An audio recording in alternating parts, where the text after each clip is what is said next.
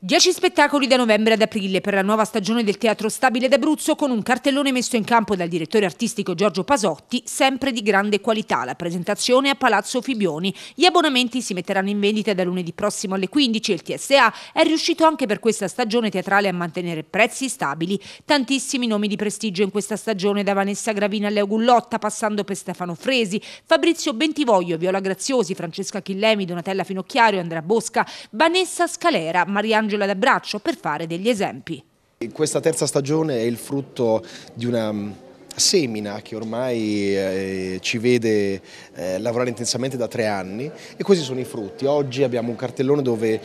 il fiorfiore degli artisti italiani vuole ritornare all'Aquila ed esibirsi, nonostante l'Aquila ancora dire, difetta di, di un luogo, quello del, del, eh, del ridotto dell'Aquila, che non è propriamente adatto a, a, a, questi, a, questi, artisti. Però non di meno la loro volontà, la loro voglia di ritornare all'Aquila, ad esibirsi, è un segno molto importante di quello che sta ritornando a essere, a rappresentare il Teatro Stabile d'Abruzzo per il, il, il, il sistema teatro italiano. Come sempre gli spettacoli saranno a ridotto del teatro comunale, anche il TSA spinge affinché si possa riaprire nel più breve tempo possibile il comunale che è un gioiello in tutti i sensi.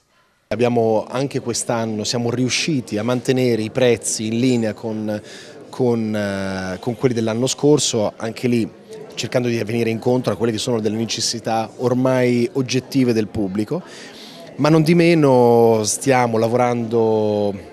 stiamo proprio spingendo quasi fisicamente affinché ehm, insieme alle istituzioni, il sindaco Biondi in primis, affinché il governo ci aiuti finalmente e definitivamente alla restituzione di un, di un gioiello che poi non è solo un teatro